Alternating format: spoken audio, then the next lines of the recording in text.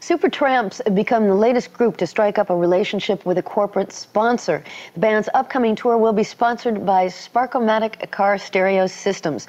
This world tour will start in June, and we can expect them back in the United States sometime the end of summer. Supertramp's tour will be its last with Roger Hodgson. The songwriter and keyboard player announced recently that he's leaving the band to pursue a solo career. Well, it's been uh, evident for a while that, that the Supertramp wasn't performing to its best uh, potential, individually or collectively.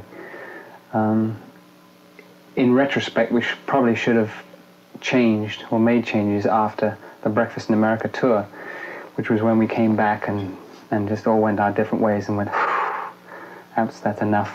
Mm. But um, after a year, a year and a half away from each other, we all felt like giving it another shot. And uh, so we went in the studios to, to make Famous Last Words, which was a very long, long and uh, very painful at times project.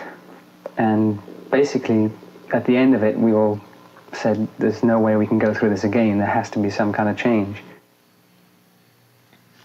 Right now, a video from the John Hall Band, Love Me Again.